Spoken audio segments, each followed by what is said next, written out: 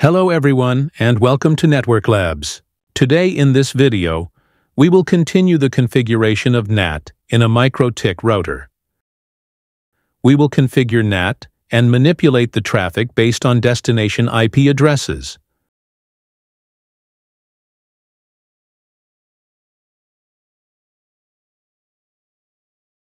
LAN 1 network takes ISP1 as default gateway to all the destination routes.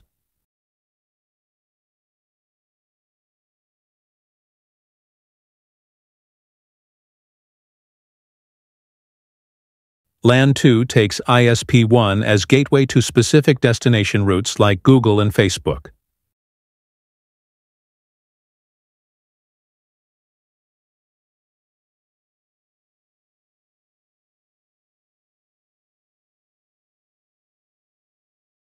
LAN 2 takes ISP2 as default gateway to other destination routes.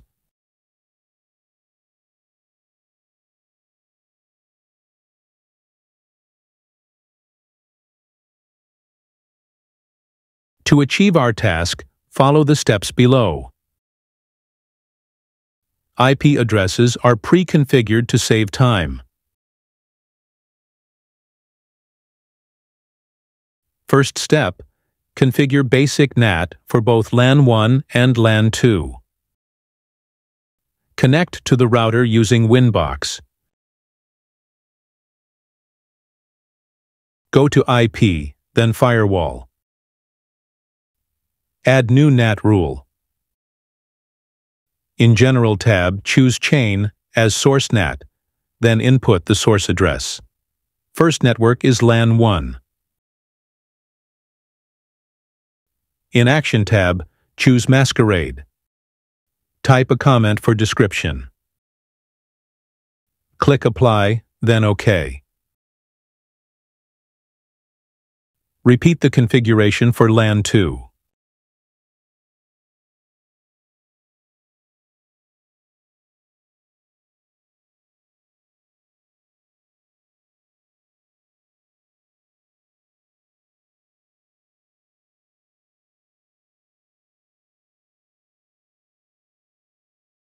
Next step, configure default static route towards ISP2.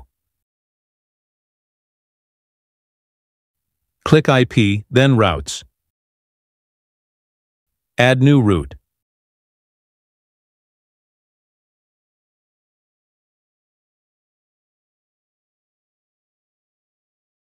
Input the gateway. Then select Ping for Check Gateway and the distance is 1. Routing table is main. Input a comment, then OK.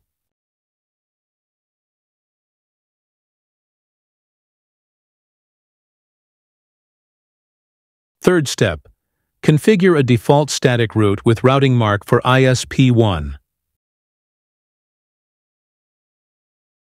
Add new route, then input the required details.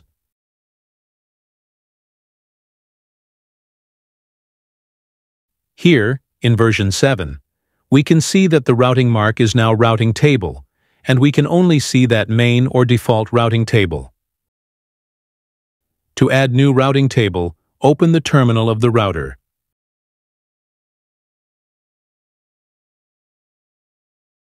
Type routing table, then add. Set the name, then enter.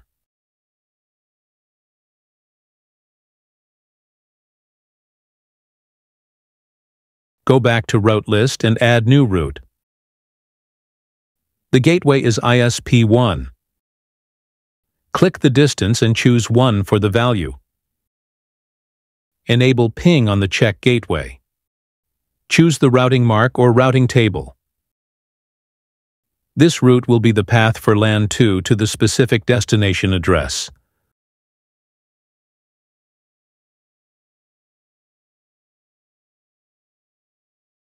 Before we proceed, make sure that the router can reach the Internet.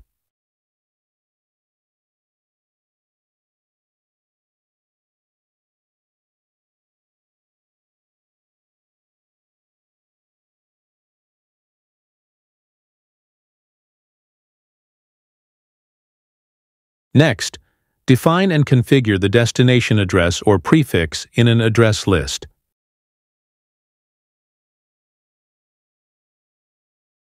First, let us resolve the domain names to their respective IP address. Just do a ping for now and later on, we will use NS lookup.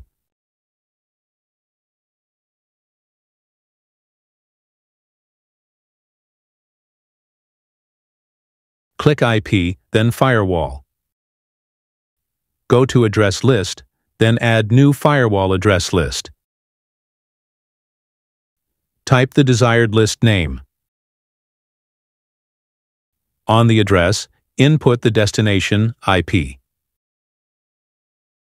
Here, we use a slash 24 network, but any specific IP address or domain is accepted. Repeat the configuration on the other IP prefixes.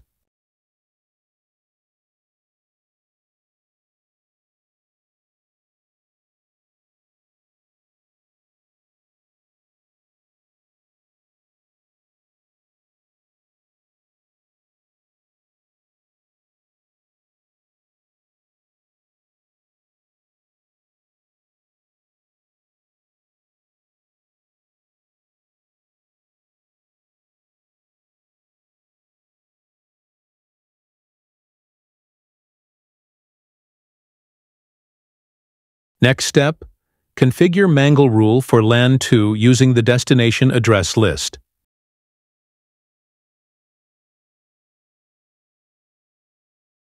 Under Firewall, go to Mangle, then add New Rule. On the Action tab, choose Mark Routing for the action. Then select the routing mark. As we can see, only the main routing table appears even though we have already created a new routing table.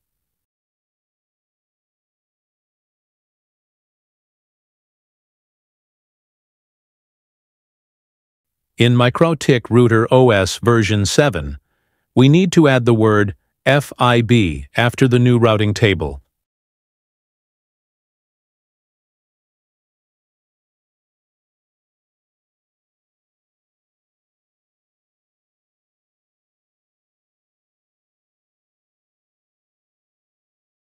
Going back to the new Mangle rule, we can now detect the new routing mark or table after adding it.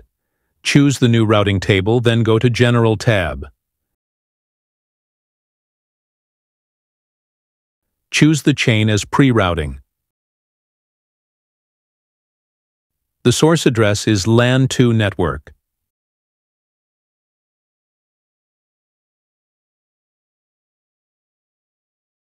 Then input the created destination address list for LAN 2 via WAN 1.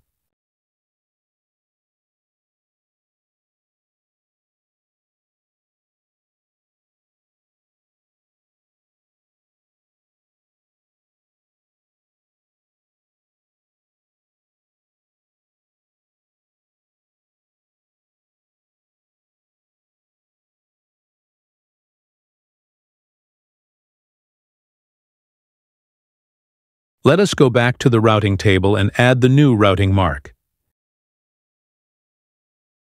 Edit the default route facing ISP1 and choose the routing table.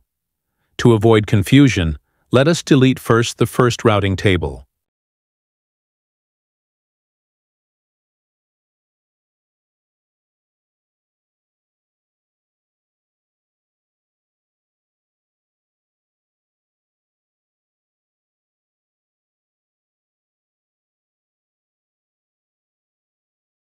Next, configure new NAT rule with ISP1 or WAN1 as the out interface.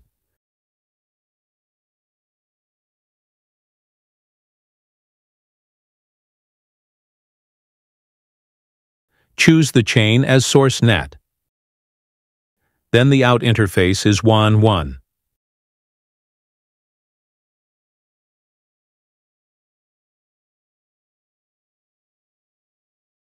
Then choose the action as masquerade.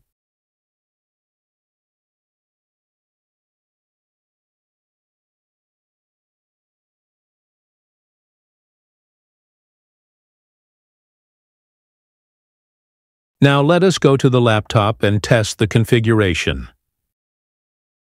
First, let us test the LAN 1 network if the traffic takes ISP1. On the router, bind the bridge for LAN 1 to the interface facing the laptop. Renew the laptop network interface to make sure that it will obtain from LAN 1.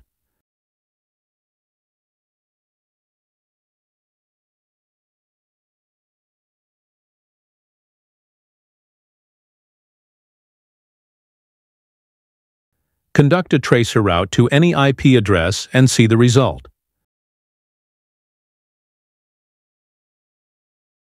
We can see that the traffic of LAN 1 exits ISP2.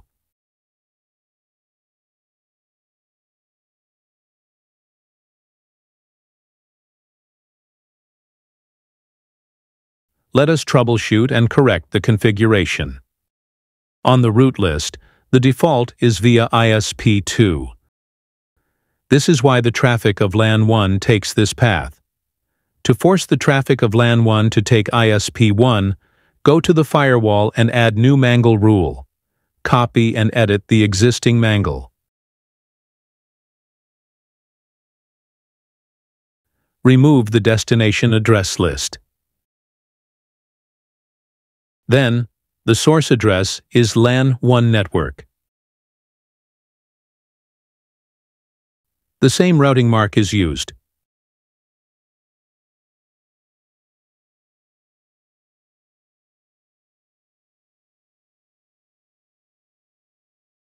Now, let us go back to the laptop and test again.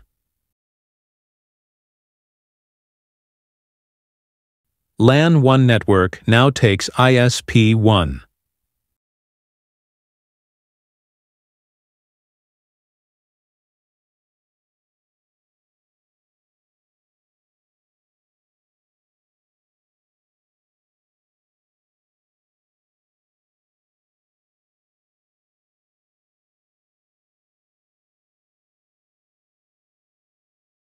The same result to the other destination address. Let us proceed to LAN 2. Bind the bridge for LAN 2 network to the interface facing the laptop.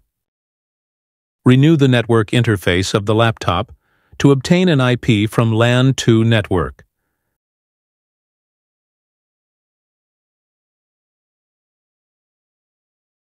Then, conduct traceroute to the IP address configured on the address list. First destination is 8.8.8.8. Using LAN 2 network, the traffic takes ISP1 as desired. Now let us do NS lookup to resolve and add the new network address of Google and Facebook in the address list. First, let us take google.com.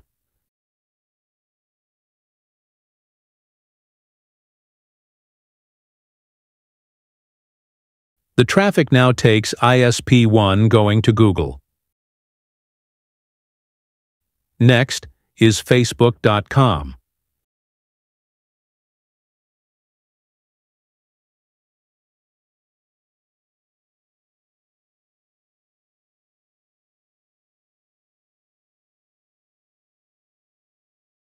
The traffic also take ISP1 going to Facebook upon adding on the address list. Forcing the LAN 2 network to take ISP1 towards the specific destination addresses are successful.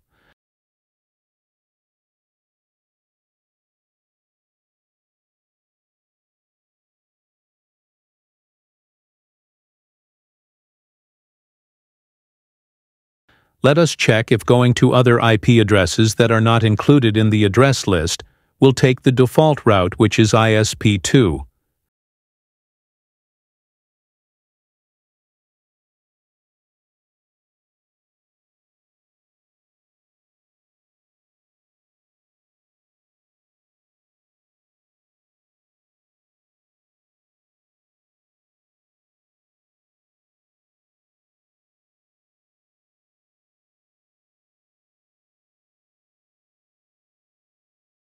LAN 2 network takes ISP2 as the primary route going to other destination address.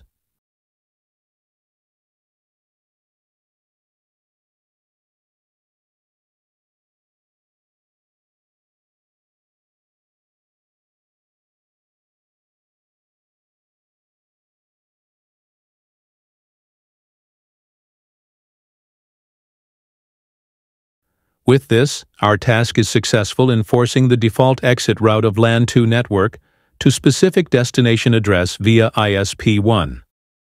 I hope that this is informative to you and thank you for watching.